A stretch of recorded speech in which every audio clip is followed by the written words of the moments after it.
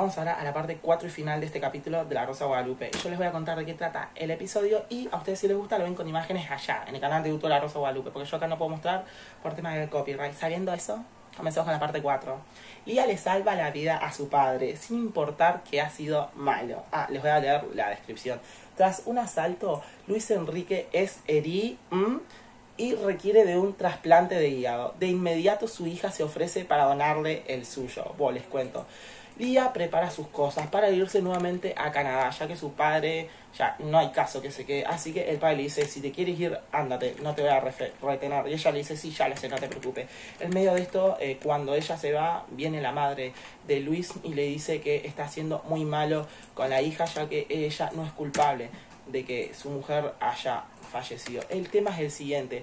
Diego al otro día va con Luis y va a la oficina y le dice que va a renunciar porque se piensa ir a Canadá porque es una buena mujer la hija y quiere eh, apoyarla. Así que él le dice, si te quieres ir, ándate, si no actúa a ella, menos te va a retener a ti.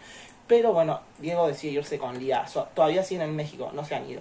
El tema es que cuando Luis sale de trabajar es asaltado y como él se resiste, es apuñalado por estos asaltantes y se termina complicando la cosa y termina en el hospital. Cuando está en el hospital, el médico le dice que él está en un estado grave y que necesita un trasplante de hígado urgente. Por lo que la hija, a pesar de todo el daño que el padre le ha hecho y le ha dicho cosas feas, no duda ni un segundo en donárselo. Le dona el hígado y ya cuando él despierta está la madre de Luis esperándolo.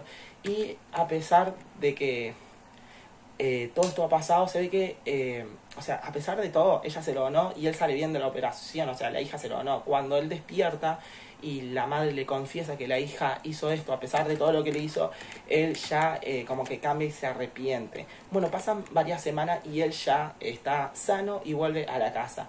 Les cuento, ella podía donar un pedazo de hígado, porque si tú tienes un hígado, o sea, se te regenera entonces, si ella dona un pedazo de hígado, se lo vuelve a regenerar y vuelve a crecer. Entonces no habría ningún problema en que la hija done un pedazo de su hígado. Pero ya cuando le dan el alta a su padre, ella decide irse a Canadá con Diego. Y ahí el padre se arrepiente y le pide perdón por todo lo que le hizo. Y le dice que, bueno, em, que él le dice esto.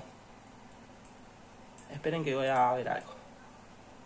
Bueno, él en el diario vio que están alabando, ¿no? Platillo de la hija. Así que bueno, tipo, le pide perdón por todo lo que le hizo, ella la perdona y bueno, y le dice que logre su sueño y a ver si un día va a poder perdonarlo, ya que el amor lo cegó a él, ¿entienden? Y no fue capaz de notar que la hija que venía en camino no es culpable.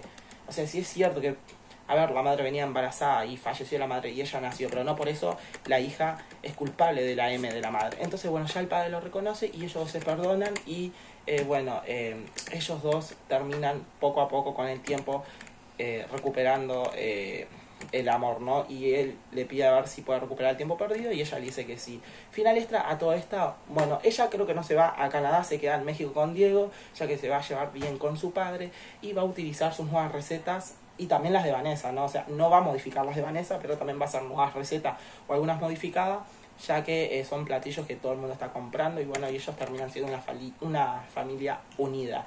Diego después termina siendo novio de Lía y está con Luisa ahí, está la abuela. Ellos también después van a hacer su vida, pero sí van a seguir viéndose y bueno, y ahí termina el capítulo. Suscríbanse, compartan el capítulo, activen la campanita.